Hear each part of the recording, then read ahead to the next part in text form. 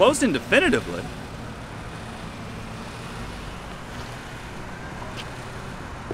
The last honky tonk in Chicago today has shuttered up its doors.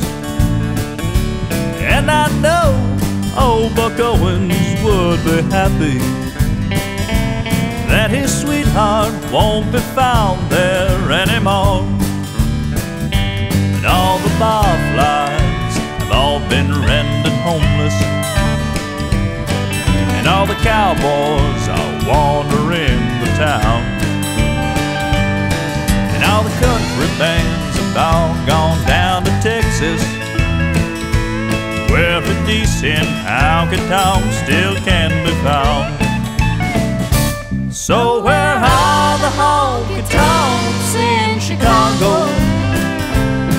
my friend, last one just closed down today. So I guess we'll head on down to the empty bottle Where they like honky tonk and punk the same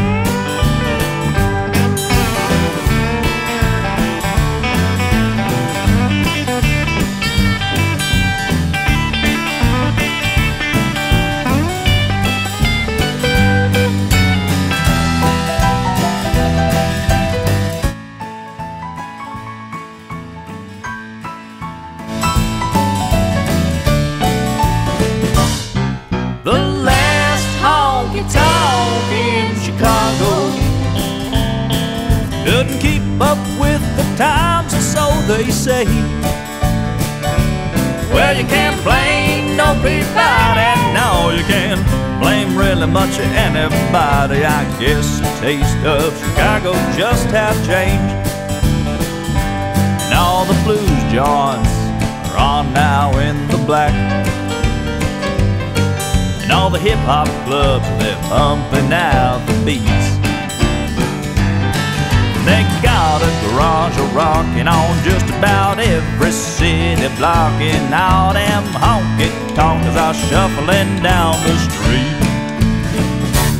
Cause they closed up the honky tonks and hot dog